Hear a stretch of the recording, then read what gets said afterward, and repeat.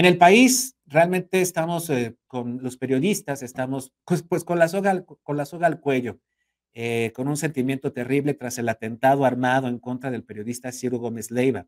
Ya las autoridades buscan a uno de sus posibles atacantes en el estado de Puebla. De acuerdo con el periódico El Universal, los dos sicarios que atacaron al periodista, que viajaba a bordo de su camioneta la noche del jueves en la alcaldía Álvaro Obregón, se refugiaron primero en una casa ubicada en el Estado de México y posteriormente se separaron, por lo cual las autoridades rastrean a ambos tanto en la entidad vecina, en el Edomex, como aquí en Puebla. Según la indagatoria, ya se tiene identificada la ruta de escape de dos vehículos que posiblemente participaron en la agresión una motocicleta en la que huyeron quienes dispararon en contra de Ciro Gómez Leiva y una camioneta que sirvió de muro.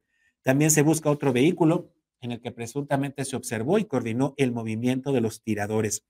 Los peritos y especialistas asignados a este caso ya han revisado, dice el periódico El Universal, más de 30 horas de video previas y posteriores al ataque la noche del jueves allá en la Ciudad de México. Creen que con estos indicios pueden encontrar al autor intelectual del atentado contra Ciro Gómez Leiva, ya que no descartan la posibilidad de que el periodista lo estuviera siguiendo desde hace días, incluso semanas antes, eh, para ubicar sus movimientos, rutas, horarios, arribo y salida a su domicilio. Así se vivió la semana pasada este anuncio terrible que tiene, por supuesto, a la prensa nacional en vilo y exigiendo a las autoridades una, un esclarecimiento total de las causas que estuvieron a punto de quitarle la vida a uno de los periodistas más importantes de este país.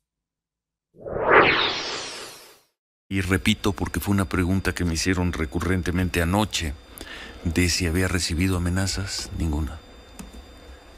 Ninguna. Y lo saben, porque además yo no soy una persona que me paso el día revisando mis redes sociales, pero tenemos un extraordinario equipo, con Sofía Enríquez, con Denise Flores, en fin, que cada vez que detectan un mensaje relevante, me informan de inmediato. No habíamos recibido nunca, ni en los últimos días, ni en los últimos meses, ni en los últimos años, una amenaza.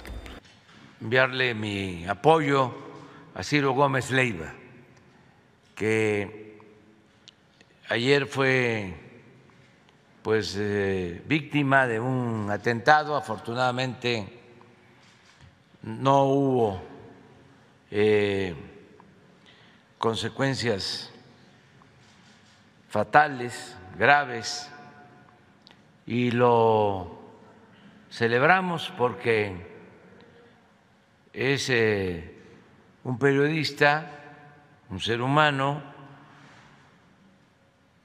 pero además es eh, un eh, dirigente de opinión pública. A las 11.02 se observa el paso de la camioneta sobre Avenida Universidad y metros atrás se puede ver nuevamente un vehículo que posiblemente va siguiendo también al periodista. Después del atentado, a las 11 con 12 minutos se observa el paso de la motocicleta sobre Avenida Insurgentes al norte, Barranca del Muerto y Parroquia al oriente. A las 11.18 se le observa sobre eje 8 Sur entre Coyoacán y Amores. El seguimiento nos permitió ubicar la unidad hasta cruzar el perímetro del Estado de México, donde continuamos trabajando ya en coordinación con las autoridades de dicha entidad. O al grupo de reforma, reforma empezó a pagar 100, 150 mil pesos, 200 mil por escritor. Claro, su misión era mantener al régimen corrupto y compraban o alquilaban a periodistas o escritores 100 mil pesos 150 mil, 200 mil.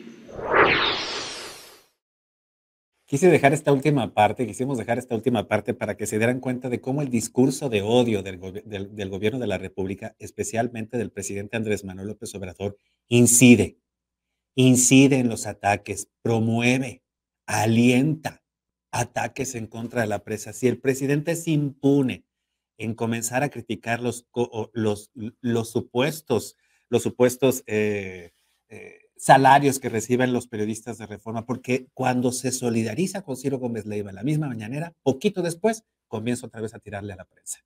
Así que los, el discurso de odio que se emite desde la presidencia de la República, sin duda alguna, tiene un efecto en cuanto al ataque, a el ataque armado en contra de periodistas, la muerte, el asesinato de otros muchos, porque esto queda impune. Así como el presidente queda impune en sus dichos, que muchas veces son falsos, y sus ataques, que quedan completamente sin ningún tipo de sanción, así puede pasar con cualquiera. Y un obediente que quiera caerle bien al presidente, va y le hace el favor. Por eso yo insisto. Y, y aquellos que dicen que se politiza el caso de Ciro Gómez Leiva al tratar de, de, adjudicar responsabilidad a la presidencia de la República, no sean hipócritas. Por supuesto que hay un discurso de odio. Reconózcanlo y critíquenlo, por favor, porque esto parece fascismo, no parece socialismo, no es izquierda. Esto es ultraderecha, es ultraconservadurismo y por supuesto que la libertad de expresión en nuestro país está en riesgo. Es un discurso de odio que se ha lanzado de manera impune durante cuatro años y ahí están las consecuencias. Síguenos en Facebook y en Twitter. Estamos contigo, Puebla.